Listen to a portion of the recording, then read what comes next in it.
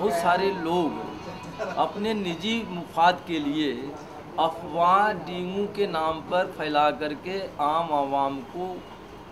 pocket काटने का काम कर रहे हैं मैंने इसको इसलिए कहा कि मल्टीनेशनल कंपनी मैंने किसी कंपनी का नाम नहीं ले रहा हूँ ये सच है कि मल्टीनेशनल कंपनी अपने प्रोडक्ट्स को अपने मेडिसिन को बड़ा व्यापार बढ़ जाए इसके लिए कहीं ना कहीं से वो सक्रिय हैं